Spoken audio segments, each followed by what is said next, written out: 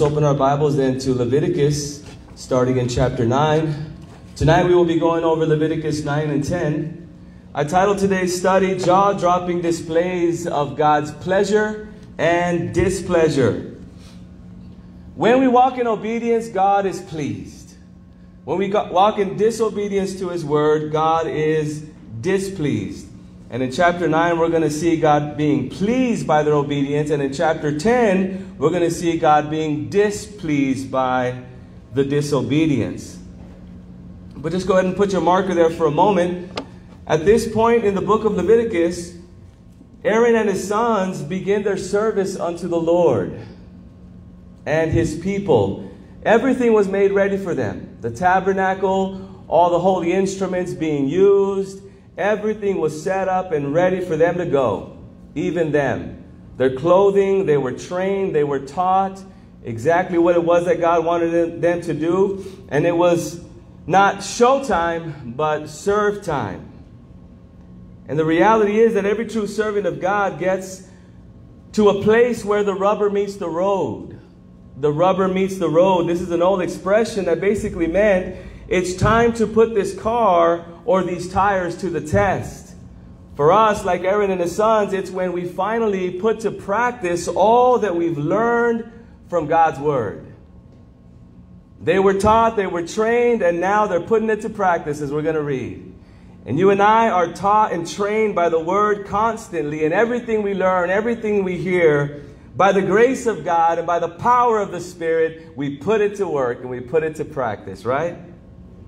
I've been teaching my son, Blue, how to drive lately, and soon he will have to take all that he's learned into traffic, where his level of driving skills will be tested. By the way, Blue is doing really good, and we haven't hit the big streets just yet, and I'm a little nervous when I think about it, but uh, the time will come.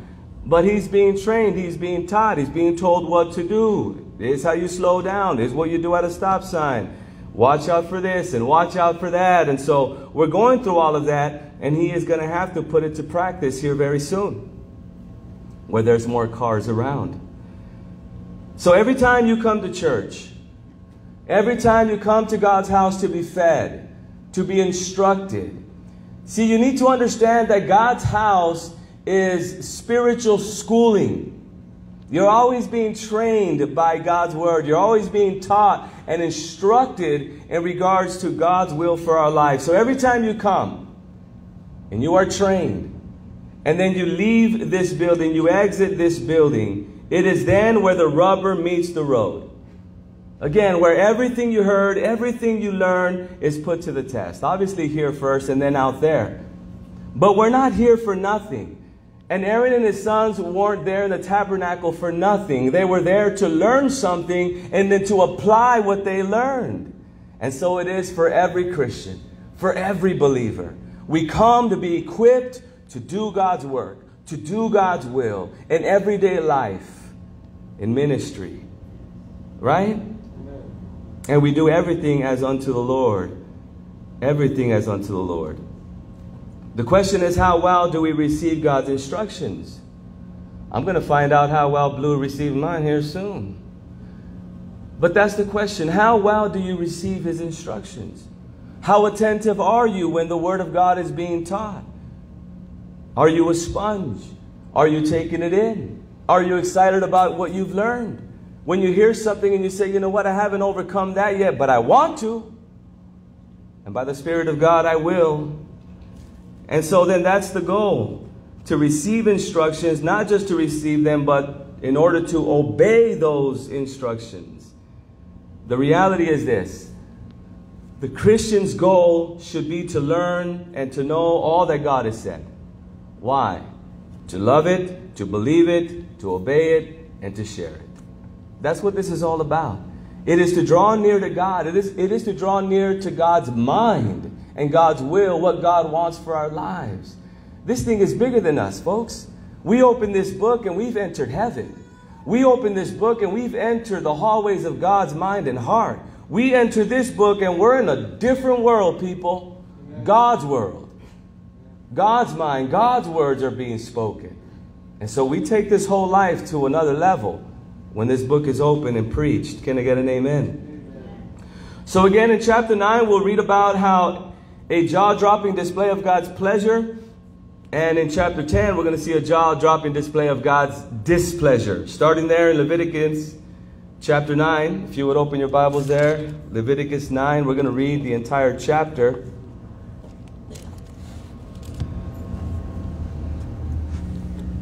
May I get some water? One of the brothers, please. Starting there in verse 9. Your subtitle may read, The Priestly Ministry Begins. It came to pass on the eighth day, pay close attention, that Moses called Aaron and his sons and the elders of Israel. And he said to Aaron, Take for yourself a young bull as a sin offering and a ram as a burnt offering, without blemish, and offer them before the Lord. And to the children of Israel you shall speak, saying, Take a kid of the goats as a sin offering, and a calf and a lamb, both of the first year, without blemish. Thank you. Without blemish. As a burnt offering, also a bull and a ram as a peace offerings to sacrifice before the Lord, and a grain offering mixed with oil. For today the Lord will appear to you. This, was a big deal. They were getting ready for God to show up. In verse 5, so they brought what Moses commanded before the tabernacle of meeting.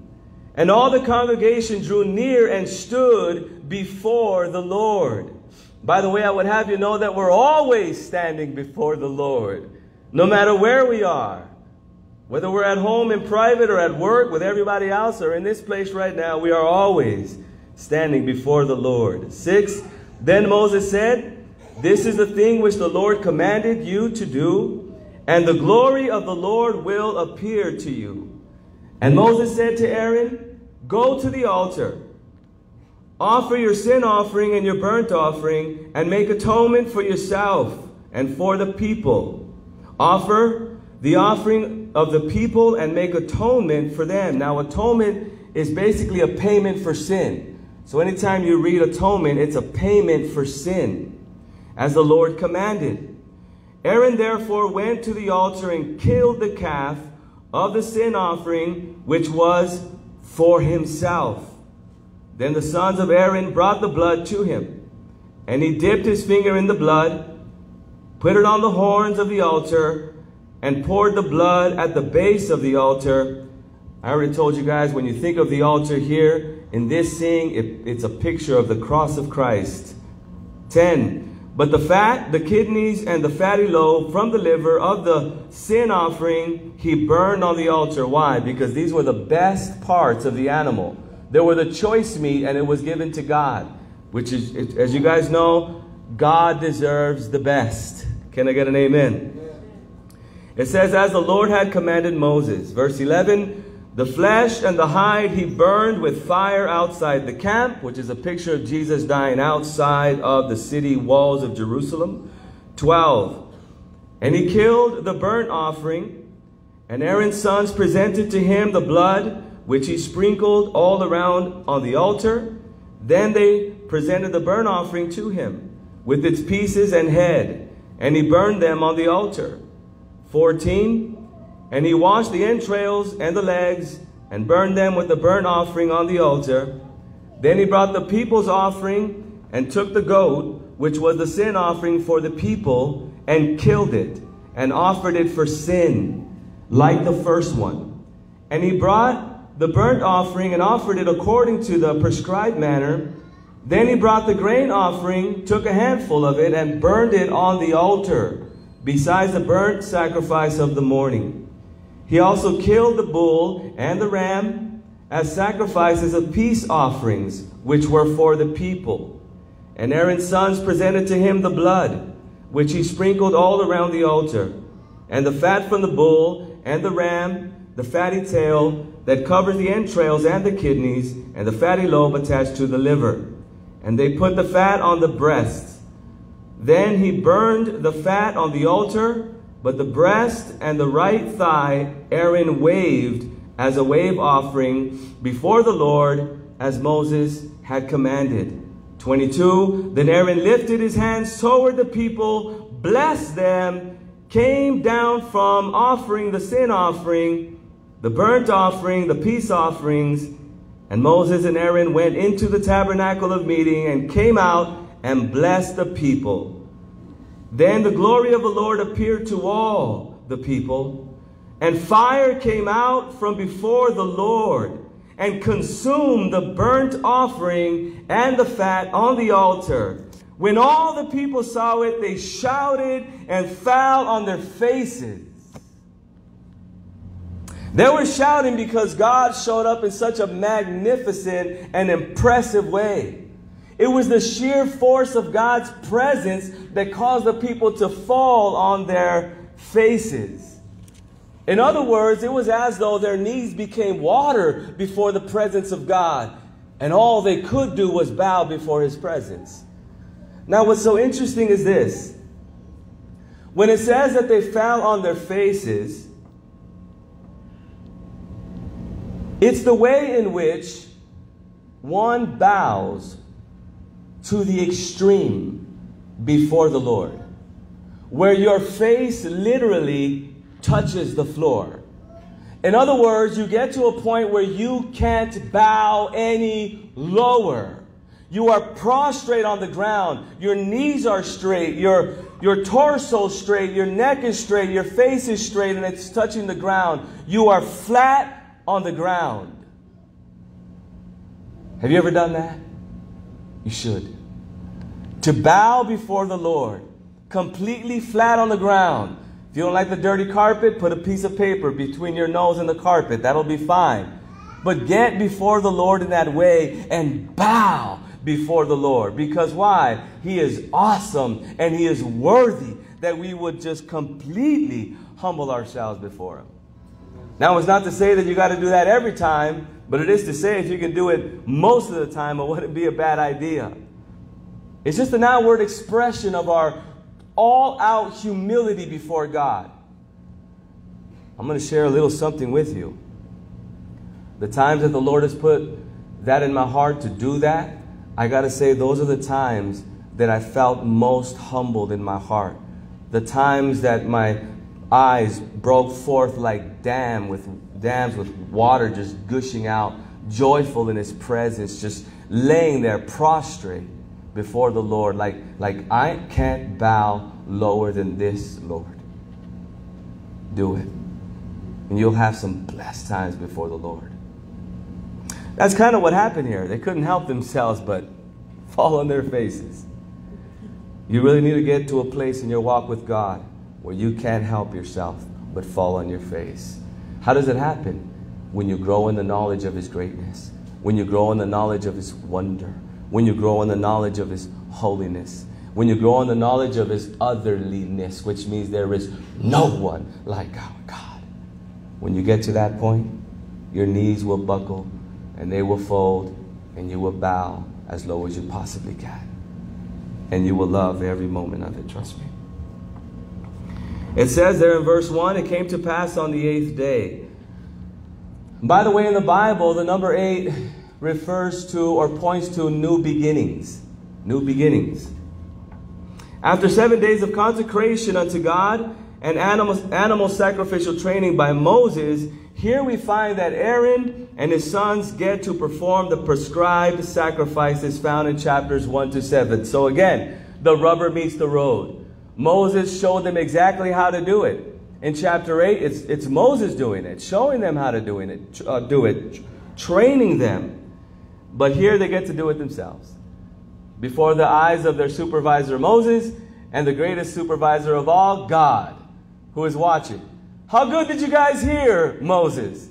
How good did you take the instruction I gave Moses? Well, let's find out. And if you do the right thing, I'm going to show up. I'm going to show up. And so we see that. They did it. He showed up, right? So they got to perform the sin offering, the burnt offering, the peace offering, the grain offering, and the wave offering. For those of you who don't know what those offerings are, go back to our YouTube channel or Facebook and re listen to those messages, all right? because I can't go over them now or we'll be here till next Wednesday and I'm sure you guys don't want that.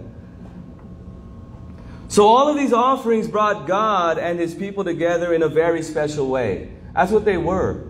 All of these offerings pointed to the way the Lord Jesus Christ connects with us, starting with him dying on the cross, the sin offering, right? The burnt offering, the daily offering, the morning and evening offering, which points to we, we, we, we trust in Jesus daily, from morning to evening, evening and always, right? Then you have the peace offerings where we get to commune with God. At that time, it was like having a barbecue with God. So I'm telling you these things in short, right? And so then you have the grain offering where you just come and you give the most costly offering that you got. Why? Because there was hardly no grain there. So anybody who gave wheat to God gave the most expensive gift. That's why it was called the holiest gift, right? Because it was uh, very rare. Then you have the wave offering. This is, this is bringing before the Lord and, and offering Him your life. It's like when we lift up our arms and we just worship the Lord and praise His holy name. But all of these, all of these offerings point to the way God connects with us and with the way we connect with God, right? So all of these things are very beautiful and very practical even today. Yeah, we're not killing animals, you know, big smelly things on our shoulders and stuff, but you know, we are praising God with our lips. We are working for God with our hands. And so we still offer to the Lord. But again, all these offerings point to the way God deals with man. The sin offering points to what? Jesus the Lord. These are animals that died in their place and for their sin. This is a picture of the Lord's cross. Again, the priests are now putting to practice all that they have been taught. This was go time. What were they taught? They were taught to worship God properly. Uh, we're living in a time today that people, many people don't know the Word of God. Many leaders don't know the Word of God. So they don't know how God ought to be worshiped. But they were taught.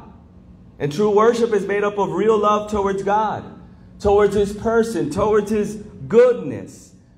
True and holy worship is obedience to God's Word. Right? It's, um, all spiritual and physical service. So they were informed on what to do and how to do it. And I want you to know that you and I are informed on how to worship the Lord, how to obey the Lord. God's word teaches us how to live and how to do ministry. This is where the rubber meets the road. Again, you guys are test driving them tires. You guys are test driving that engine, that spiritual engine that God has given you. Every time you leave this place, you hear the word of God. All right, I'm going to do what God told me to do tonight. I can see Brother Ray at home. Linda, get out of the room. Got to get on my face before God. Right? That's one thing you can take away from this. But there's going to be many things that you can take away from this. Right? And so that's the point of it all. Is to take what you hear to practice. That is the most happiest Christian there is. The more you obey God, the more joy you experience in your life. The most joyful Christians in the world are those who obey God most. It's the way it works.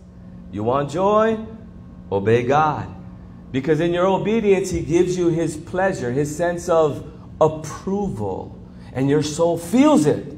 Like I'm approved by God, right? God is happy with what I'm doing. God is happy with the way I'm thinking. God is happy with the way I'm speaking. You want to be a happy Christian? Put to practice everything you hear God speak. Amen? We could say that people are lacking joy in the world and in the church simply because they don't obey God. Why is everybody so sad? Look at their life. Is it lined up with God's will and word? That'll tell you the majority of the reason why people are so depressed. All was done under the supervision of Moses and God. This reminds me, reminds me of Ephesians 4.12, where like Moses, pastors, Bible teachers, and evangelists are responsible for equipping and training God's people through faithful teaching. That's what Moses did for Aaron and his sons. And by example. So it's by teaching and by example, living an example for the work of ministry and to grow in the knowledge of Jesus in order for what? In order for you to know the Lord better. in order for you to serve the Lord better. That's what all of this is about. Are you getting better in regards to your knowledge of the Lord? Is it increasing? Are you overcoming certain sins as you are growing in Christ? You're looking back and you're seeing growth in your life? I know you are. If you're in Christ, you are. And so, this is the point of it all. Are you serving God? Are you using your hands for His glory? Are you using the talents and abilities and skills and spiritual gifts God has given you, right? That's why we're here. We're here to motivate you through the preaching of the Word. My role, like Moses, is to teach you. Your role, like Aaron, is to put to practice what you've been taught. It's as simple as that. It's as simple as that. Know the Lord, love the Lord, obey the Lord. That's what Christianity is all about. You want me to make it very simplistic? It's what it is. What does it mean to be a Christian? Know Jesus. Know what he said, know what he wants, know the way he is, love him, and obey him. That is the best Christian in town. The one who knows and loves the Lord with all of their heart. And at times we don't, but we grow in that too. Can I get an amen? One vital insight we learn here is that no one should serve in any official ministry until their sins are paid for by Jesus through faith, right? Aaron and his sons, their sins were atoned for, they were paid for. And they weren't able to continue in spiritual ministry and service unless they were both saved and consecrated for the Lord. So we need to understand that God doesn't accept service from non believers. He doesn't. He will not. You cannot work for Jesus without the Spirit of Jesus living in you. And without the forgiveness at the cross provides an individual, right? I've heard of churches that allow unbelievers to join ministries so as long as they're talented, as long as they're skillful. Hey, can, can, you, can you play the guitar? How well do you speak in front of people? Let me hear you. And so the prerequisite isn't are you saved? Are you born again? Have you consecrated yourself, meaning you set yourself apart from the world for the Lord, for His work? That's what these men did. And so many churches, I'm telling you, they're just looking for the skills, they're looking for the talents. They can care less if people are truly saved or not, or how people live. That doesn't matter. We're putting on a show. Can you add to the show? See how good you are. That's not the way the Lord works. Shows us here that Aaron and his sons didn't work for the Lord without being forgiven without their sins being cleansed and without them being consecrated and set apart for the Lord Jesus, right? And so there's so much to learn. I mean, just in these two chapters, we can go through a little series actually, but I'm just kind of giving you the short version. But there's a lot to learn here, church. It says, To Aaron, take for yourself a young bull as a sin offering. We find that there in verse 2. We're going to learn a few things here too. We find here that Aaron, being the high priest, was sinful like everyone else. Aaron, the high priest, was sinful like everyone else. And you, both are, you and I are both thinking, of course, he was the one that created the golden calf. We all know that. But there are times when people may think that spiritual leaders are sinless, but they're not. Every man is sinful. And this is the reason why atonement was made for him. A payment for his personal sin had to be made. By the way, I would have you know that this was done publicly. Aaron himself had to sacrifice the animal in front of everybody so that everybody knows that even the high priest needs forgiveness for his sins. This was God's way of showing everybody that the ground is leveled at the cross. Right? There are different levels of, of, of, spiritual growth and so on, but we all have sinned and we all even sin now, right? With our thoughts, with our actions. Some sin more boldly and flippantly than others, but we all sin and need forgiveness. Can I get an amen? And so that's, that's what we see here. He kills this animal in front of everybody to, for everybody to know that he too needs forgiveness. Every spiritual leader needs forgiveness. This shows us that pastors are not perfect. They are called to they are called and expected to live higher standards than everyone else, right? Obviously, the high priest and his sons are going to live at a higher standard. Obviously, pastors and Bible teachers and evangelists have to live at a higher standard, but even then, they are still sinners. At best, they are still men and in need of forgiveness. Can I get an amen? And this is important to know because um, there are some men who flaunt themselves in such a way that people may think that they're sinless. A lot of the false preachers do that actually.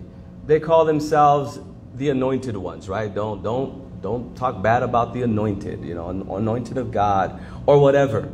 And so they put themselves on a on a sinless pedestal. But no man is sinless. No man is sinless, but the God man Jesus Christ.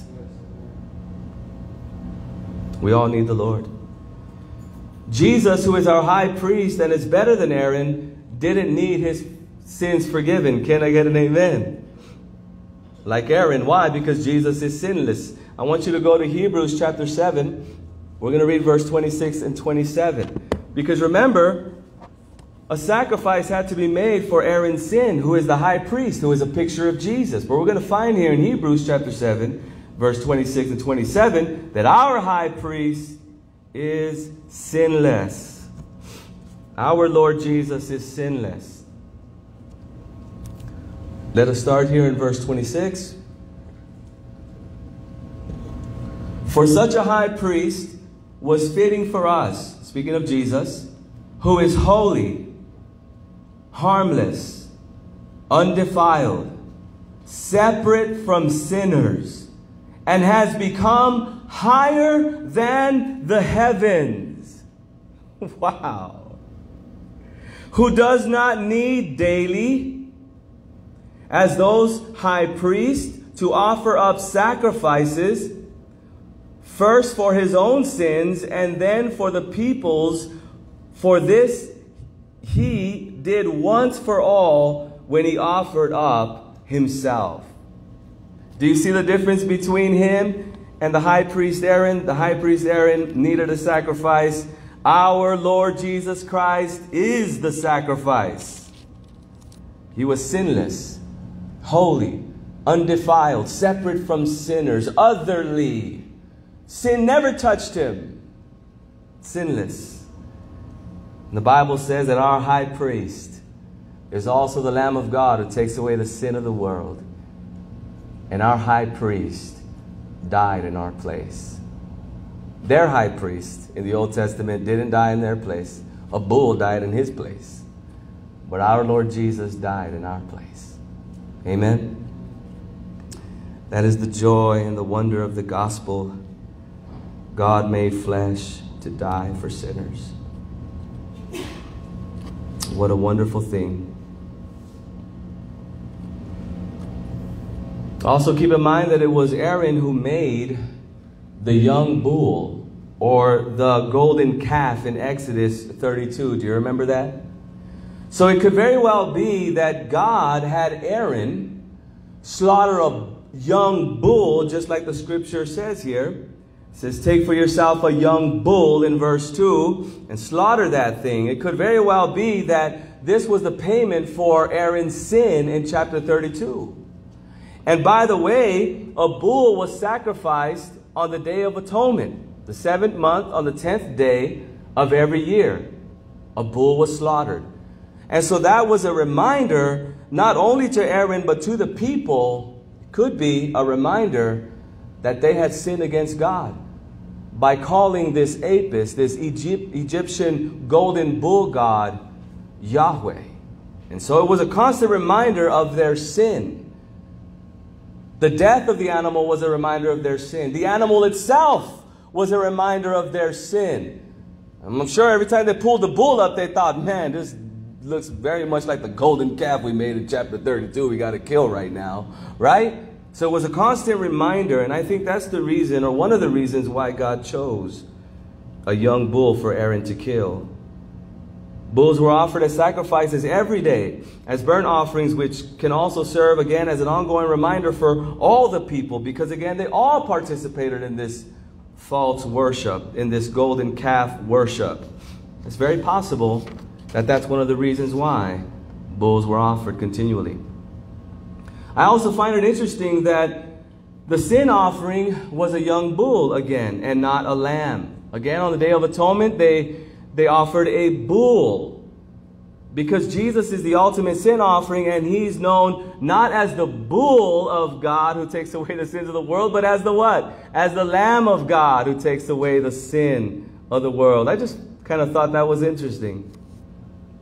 Also, a bull was offered for Aaron's sin, but lambs in the burnt offerings were offered for the people. So a bull for Aaron, a lamb, a goat, and a little calf for the people. Jesus is the lamb that died for the people. Pretty awesome. It was the prescribed animal sacrifices that connected holy God with sinful man. It took blood or death or innocent animals to pay for our sins and to connect us with God. You see, some people don't understand that. I remember a guy once told me, Who does God think he is? Killing all of these animals, all these poor innocent animals. And I looked at him and said, If it wasn't them, it'd be you, buddy.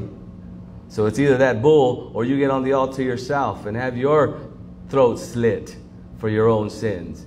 That changed everything real quick. And then I told him, and not only that, but after you kill this animal, you get to enjoy its meat and have a cookout with God. Now, do you understand why animals took our place? Because God was being good.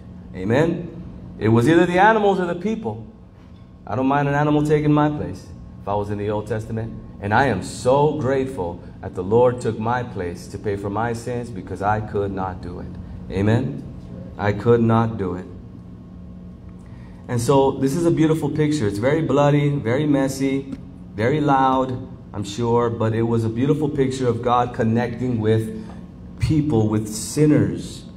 And so in the Old Testament, it was the blood of animals that connected them with God because it was death. Animals died, paid for their sin. They were able to come to God now because the sin was paid for. The, the wall, in a sense, was temporarily taken down. You come to me now, right? And so, but in the New Testament, as you know, we were brought near to God the Father through Jesus. We find in Ephesians 2.13, it says, But now in Christ, Jesus, not animals, in Christ Jesus, you who were far off have been brought near by the blood of Christ. Jesus' sacrifice on the cross made it possible for you to come to God by faith and for Him to open His arms and receive you through the blood of the Lord Jesus Christ. What does the blood do? The blood allows you to draw near to God. That's what it does, church. That's what it does. It says here, then Aaron lifted up his hand toward the people and blessed them. That's in verse 22. Aaron pronounced a blessing on the people for, for coming together as one before the Lord in worship. It was Aaron's way of saying, Good job, folks. Thumbs up, approval. I'm joyful, I'm happy. We all did our part. Me and my sons did the right thing. God was pleased. The bull was consumed, the burnt offerings too. You guys are all here. It all went really well. And so he, he blessed the people. What a beautiful picture. It's possible that Aaron pronounced the priestly blessing found in Numbers 6, 24, and 26. I'll read it to you. It could be that he said this, so you can kind of imagine. He just got done sacrificing these animals, and now he's going to say these words to these, to these people, right? He says this the Lord bless you and keep you. The Lord make his face shine upon you and be gracious to you. The Lord lift up his countenance upon you and give you peace. I don't know about you, but I like that blessing. I want God's face shining down on me. In the Hebrew, that means that God looks down and he smiles big on his children. I like that. I like that. Or we can also see a, we can also see a New Testament blessing by the Apostle Paul in 2 Corinthians chapter 13 verse 14 where it says the grace of the Lord Jesus and the love of God and the communion of the Holy Spirit be with you all. Amen. The Apostle Paul says, I pray the blessing of the presence of the triune God with you always. Now listen to me. What great blessing, what greater blessing is there than that? If I say, hey, I hope you get a job next week, pretty cool. I hope you get a car next week, not bad. I hope you're, you know, your ailment goes away. That's pretty cool. But for me to say, I pray that God the Father, God the Son, and God the Holy Spirit is a part of your daily life forever. I mean, there's no greater blessing than that. The man is saying, I pray that all that God is, is on your side. Well, it's better than a car, better than a house, better than healing. What is better than God the Father, God the Son, and God the Holy Spirit? Absolutely nothing. And so Aaron does this to bless the people. And by the way, every good pastor genuinely desires the absolute best for his congregation, right? As I was going through this, I thought about myself. And I just thought in my mind and my heart, Lord, I am very grateful for the fellowship we have. I desire the absolute best for all of you. Like, get all of Christ. Get all of his wisdom. Get all of his joy. Get all of spiritual blessings that are from heaven that are yours. I think to myself, Lord, I want you to bless their socks off. Well, let them keep their socks as they need them, right? But you get my point. That's what I pray. I pray that each and every one of you are blessed to the core by God and nothing less. That you are victorious in every area of your life. That you are wise in every area of your life. That you shine brighter than the stars in the night in this dark world. Listen, I want you to experience joy. I want you to feel uh, a sense of peace and pleasure in God's presence, in God's, in God's near presence. Everything, everything that is that is from God, everything that is good, I desire that for each and every one of you tonight. I really do. And nothing less. Nothing less than that. And so we see that with Aaron. I'm sure that's the heart he expressed, and so did so did Moses. But something much bigger than mere men blessing men is hidden here in verse 22. Why? Because Aaron is a type of Christ. Aaron is a type of Christ. And it says there in verse 23 Blessed them and came down from offering the sin offering. Now, if you read that, you would just think, ah, oh, no big deal. It's Aaron. He's kind of just you know, saying a few blessed words for the people as he comes down from doing his work. But we need to understand that this is a picture of Jesus blessing us on the cross, right? Then coming down from the cross to make it a reality. Aaron coming down from the altar is a picture of Jesus dying on the cross, coming down from the cross, and being raised to glory and blessing your life. That's what it is. And what do we find in Ephesians 1 3? Blessed be the God and Father of our Lord Jesus Christ, listen, who has blessed us with every spiritual blessing. Not just on earth, it says, in heavenly places in who? In Christ. Every spiritual blessing is yours, church. Every spiritual blessing. We're talking about stuff that is eternal. We're talking about all the heavenly blessings, like being a child of God, being adopted into the family of God, being given eternal life, being seated at the right hand with Christ in glory. Every spiritual blessing is yours in Christ. So, yeah, Aaron pronounced a few blessings on these people, but Jesus Christ, the better Aaron, the better high priest, has given you every blessing that you will ever need for all of eternity. I don't know about you but that makes me rejoice. Because just when I thought I didn't have anything, I found I have everything and more in Christ.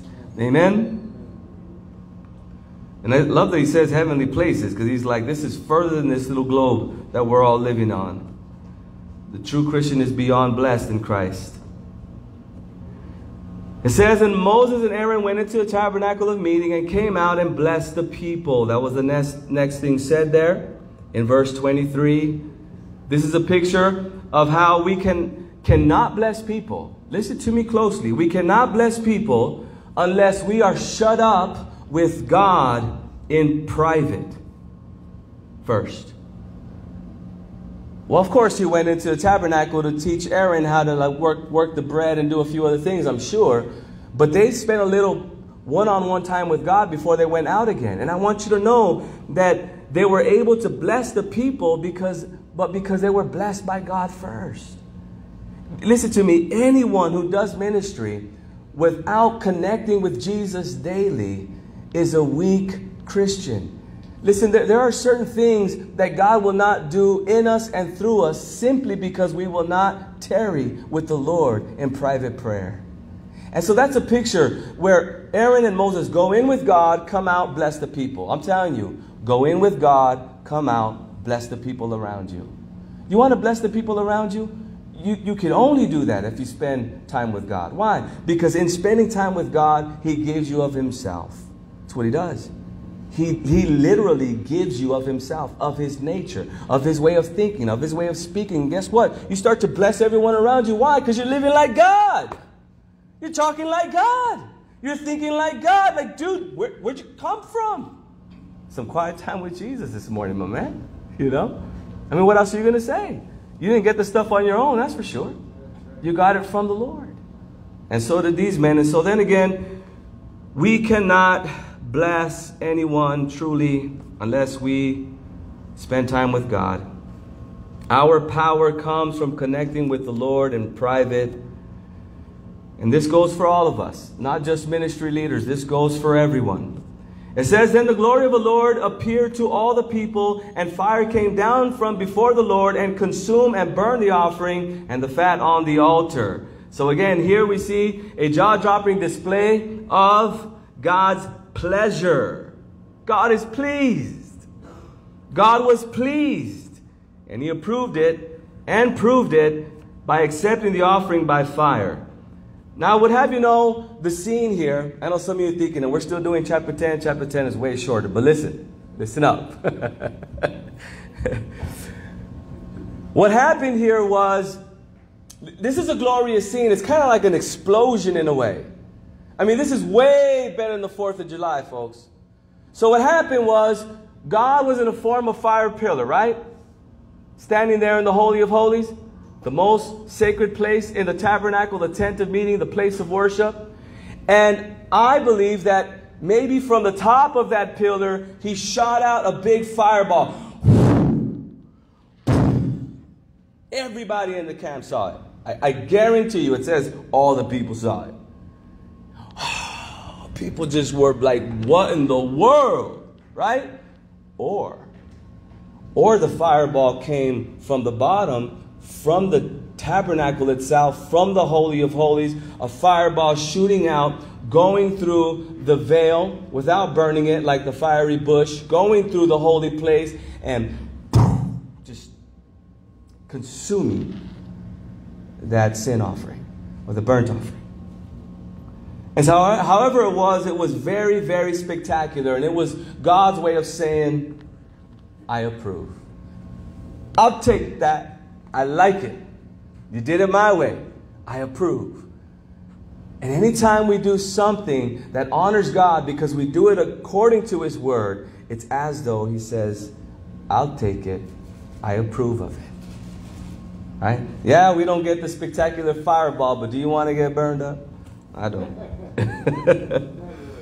a friend of mine, his name is Tony, just the other day, they had a, a pit for trash. And it turns out that it was too hollow. And they put the gasoline in there. He says when he lit it, it just blew up. His wife was inside the house. She thought it was an explosion. He said it just blew up and the fire went really high, burned the trees, and a fireball came out and it burned the side of his leg. He's got a third degree burn and the shape looks like Africa. I said, God's trying to tell you something, buddy. But anyway, um, That's really what happened. But, but anyway, I guess that was besides the point. But there was a fireball in that story too. But he's fine, he's okay, and he's healing just fine. But we see here that God accepted the offering, he blessed it, he consumed it. The people were excited, so was he. This was a very stunning time. And again, the sheer force of God's power and presence made people fall, like made people fall. I mean, they wanted to, but the fireball helped. You know what I mean? The fireball helped. The people fell on their faces. They worshiped his greatness. They worshiped his greatness. And I want, what have you know, what the Bible says that the glory of God is seen in the person of Christ. He is far better than a billion fireballs. He is far more greater than anything and anyone, and there's no one more beautiful or better than him. If you want to be blown away, take some more time spending time with him and looking at him through scripture. So this too is a picture of God being pleased by Jesus' sacrifice on the cross when he raised him from the dead. Jesus was a sacrifice, wasn't he on the cross? What did God do? He took him home.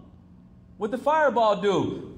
Pretty much took and consumed that offering. In the same way, we know that God the Father was pleased by Jesus' sacrifice on the cross because he took him home. Didn't let him stay in the tomb for too long, three days and no more. Why? Because God said, I'm pleased, approved, come home.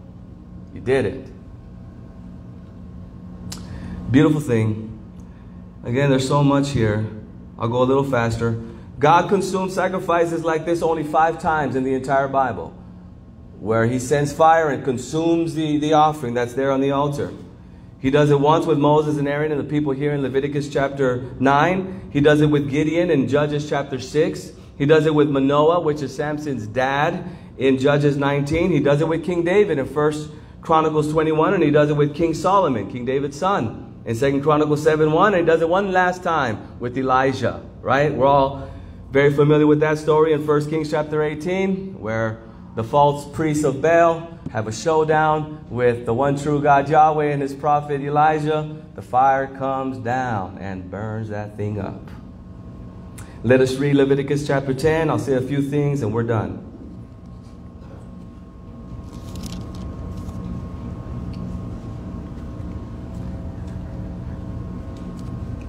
Your subtitle may read The Profane Fire of Nadab and Abihu. His name should have been Nabad, not Nadab. He was really bad. Then Nadab and Abihu, the sons of Aaron, each took his censer and put fire in it, put incense on it, and offered profane. Your version may say strange. Profane fire before the Lord, which he had not commanded them. That's the key. Which he had not commanded them. So fire went out from the Lord and devoured them, and they died before the Lord. And Moses said to Aaron, This is what the Lord spoke, saying, Remember, there's a jaw dropping display of God's pleasure in chapter 9. Now there's a jaw dropping display of God's displeasure in chapter 10. And he says this By those who come near me, I must be regarded as holy and before all the people I must be glorified. What was he telling Aaron? Your sons shamed my name by not doing it my way. And the people, and the people saw it, the people will hear it. And so then Nadab and Abihu didn't glorify God. So Aaron held his peace. Now, I don't know about you, but that would be extremely difficult. I mean, if God just set a fireball down and consumed Blue and David, uh, Blue and Damon for being little knuckleheads, that'd be hard. That'd be that'd be a hard pill to swallow. And I'm sure that Aaron loved his boys like you love your kids. So try to put his shoes on for a moment. But what does that tell you about God? God is greater than us and the sins of our children and he will be honored and respected by everyone, whether we like it or not. And for unbelievers, the fire burns hot and it burns forever. For believers, sometimes the Lord might just take us out a little early for being knuckleheads. All right, let's keep going. Verse 4 Then Moses called Mishael and Elzaphan. These were the pallbearers. They got a new job right away. And the sons of Uzziel, the uncle of Aaron. So these were family members. Obviously, they're all of the tribe of Levi. And said to them, Come near, carry your brethren from before the sanctuary of the camp. Man, what a, what a sad scene. Imagine. I mean, something so awesome just got done happening. Now something so terrible just got done happening. Five. So they went near and carried them by their tunics out of the camp, and Moses, as Moses had said.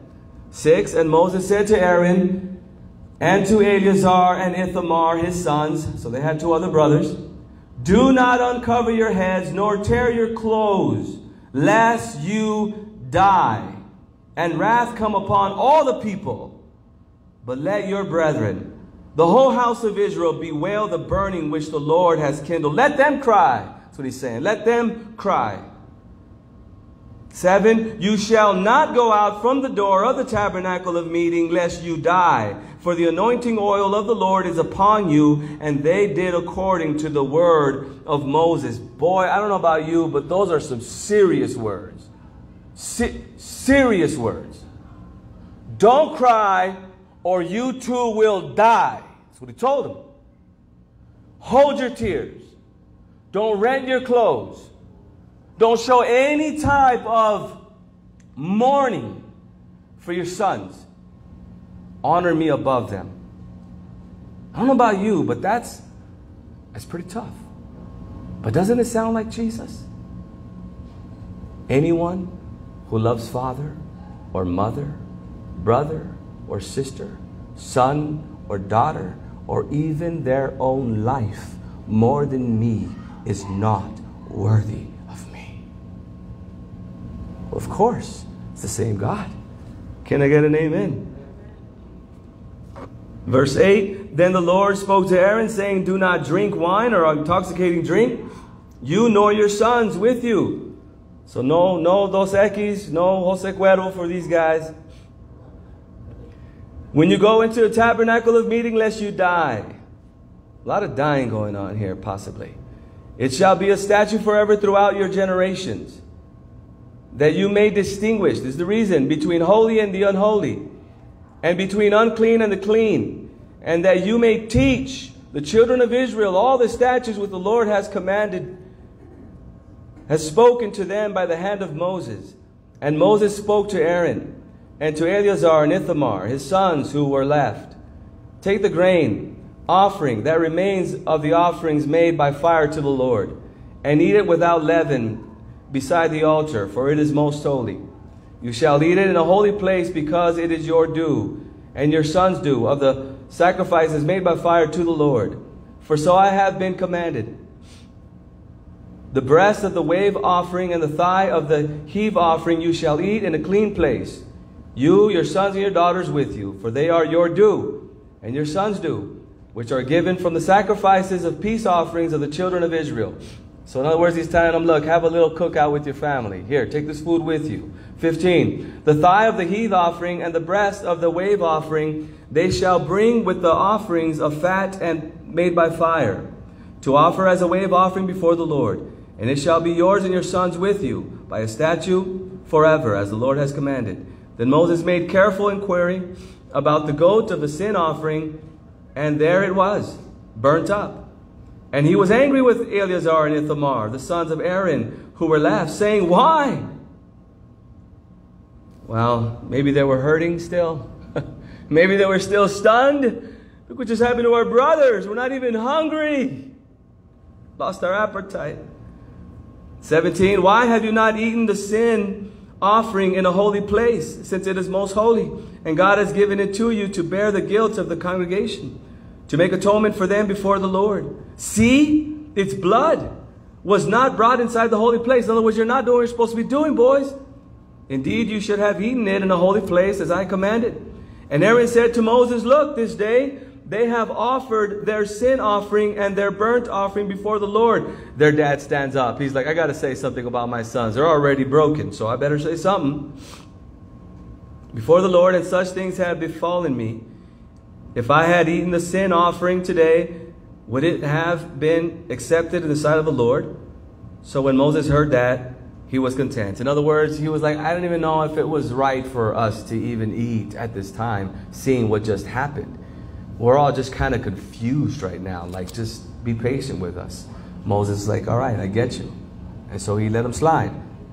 They messed up, he let them slide. I'll be real quick. I've got allergies still, by the way. I believe that Nadab and Abihu took it upon themselves to light the fire in the censer. This was a little container. Could have been like a metal container. Uh, this was actually made of gold, a golden container where they would put the incense, right? And, and, and they would pray to the Lord, and the incense and the smoke would rise. Well, anyways, they, I believe that they lit this fire their own way. I think that was it. They just they they lit this fire their own way. In, in other words, see, they were prescribed to grab a coal from the altar, right, where the animal was sacrificed. It's a picture of Christ, it's a picture of the cross. Whatever you do, you grab from God's word, you grab from Christ, you do what is right. So, anyway, so he, he grabs a piece of coal. You're supposed to grab a piece of coal from there and then put that in the incense to start a fire. But they didn't do that. And we know that that's the, the prescribed way because it's written here in Numbers 1646. Moses tells Aaron to take a censer, put fire in it, listen, from the altar. Put incense on it. So, in other words, they just possibly did ministry their own way. It was a little shortcut. Why walk all the way to the altar right there when we can light up our own fire, boys? pull out your pull out your lighter, Nadab. They were supposed to go to the altar to get the coal. Maybe they were lazy. Maybe they were careless. Maybe they thought, ah, what, what's lighting this fire a different way going to do to God? Well, you don't know God. If you think that you can just do whatever you want, do your own life, do life the way you, you want to do it, you don't know God, right? And so that's what these guys did. They just lit this thing up their own way and they were barbecued on the spot. I don't mean to make light of it, but hey, they, they were. They were just, they were toast. And for this reason, Nadab and Abihu lost their job on the spot. They were fired. Literally. Burnt to a crisp. I know, I thought you guys would laugh sooner, but that's cool. Um, listen. so listen, so they were burnt up, they were done. Why? Because they did ministry their own way. I believe that's what it was. And so I want to encourage you this evening don't do life and don't do ministry your own way. Don't do it with your own attitude. Don't do it with your, you know, your own way. Just whatever, however God teaches us in His Word, we do our best to line up with the book, with God's heart, God's will, in order for God to approve and bless our actions. Amen. God is a serious God. Yes, He is loving. Yes, He is good. Yes, He is kind. Yes, His face lights up with joy over His children. But there are times, church, where God is like, I do not like that at all. And I'm going to take your life or your leg or your house or something. God is going to discipline His children. God's glory is at stake here. And people are watching our lives. And we're connected to the glory of God. I mean, to be to be given that responsibility that the way I live, act, think, and speak reflects on my God. He is saying, You're my representative. Represent me well. I've given you my word. I've given you some men to preach. I've given you my spirit. Reflect me well in this world so the people can see that there is a God in heaven, and He lives in you. Amen. Hebrews 12, 20, and 29, referring no doubt to Nadab and Abihu. I'm sure that the Hebrew that the writer of Hebrews is thinking of Nadab and Abihu. Hebrew 12, Hebrews 12, 20, and 29. I'll read it to you. Therefore, since we are receiving a kingdom which cannot be shaken, let us have grace by which we may serve God acceptably with reverence and fear. What Nadab and Abihu didn't do, right? For our God is a consuming fuego. You know he was thinking about Nadab and Abihu. You know he was when he was writing this. Why? Because they did not honor God. They did not fear God. What they did was not done in reverence, was not done in godly fear. By the way, it shows us here, let us have grace. For what reason? To serve God acceptably. Grace is for us to serve God acceptably. It's what He's given us to please Him. Can I get an amen? He says, For our God is a consuming fire. You don't believe that? Just read Leviticus chapter 10, verse 1 again. Our God is a consuming fire. He burnt these guys up. That's what that verse is pointing to. God burns people up who do not take him serious. You might say, well, what kind of God is that? Sounds like a tyrant to me. No, what we don't understand is he is more holy than our minds can wrap around. Listen to me. You and I are not bothered by sin like God is. There is sin going on all around the world today that our eyes cannot even bear. Children are being molested. People are being stabbed. Houses are being robbed. Wives are being beaten to death. Right now, as we speak, Christians are being put in prison. We're not really bothered by that. We might be a little bit, but not like God we're not as offended as God is. We might be bothered, but we're not as offended as God is. You and I, we benefit from sin. We do something wrong, and at times we like it. God never benefits from sin. He never benefits from sin. To show himself glorious and powerful in that sense, yes. But do you see what I'm saying? Our God is holy, holy, holy. And if God decides to take someone out early, it's his prerogative and God only does, does what is right. Sin does not offend us nearly as much as it offends Him. I mean, our minds can't even fathom the difference of offense between us and God. It, it, it's laughable. It really is. How, how much we're offended by sin, it's laughable compared to how God is offended by sin and how much sin He sees happening every day, all day, all the time. And so then, yes, God is a consuming fire. Yes, there's a real hell. Yes, there is a fireball that came down and burnt these dummies up. Yes. Why? Because our God is worthy. our God is worthy all our reverence, of all of our obedience, of all our worship, of all our gratitude and thankfulness. Amen? It says strange fire. Strange means other than or turn aside. It also means unacceptable. So it was just unacceptable. God doesn't like ministers to take shortcuts. God doesn't like lazy. God doesn't like careless in ministry work. God wants us to take him serious. Why? Because he is worthy. Lest we think that God only kills off disobedient saints in the Old Testament or Christians, He also does it in the New Testament. Yes, He does it in the New Testament. We find in Acts chapter 5 Ananias and Sapphira, right? They lie, they lie to the Holy Spirit about how much they kept back and how much they sold the land for. They were trying to compete with Joseph, right? Barnabas, most likely. So it's like a little competition. that we're lying. And, the, and, and God gave them a chance, and they still lied, and, and God struck them dead. During the offering collection on, on, on, um, on a Sunday morning at church, most likely a Sunday morning at church, in front of everybody, struck one dead and then the other. And it says that their body, bodies were dragged out of the, of the church, just like we see the bodies that were dragged out of the tabernacle. Interesting, right? This is the trippy part. Before that, it was like a revival explosion. People were coming to Christ left and right. He kills Ananias and Sapphira. Everybody's like, I'm staying away from those people. It was almost like the revival stopped. Because the people, because God wanted the people to know that He's worthy of all respect. And so the people from that point on, if you read, they were afraid of Christians and they stayed away from them because their God kills that, that, that's, that's what happened. And I think it's because God didn't want funny business happening in the church. I really believe that.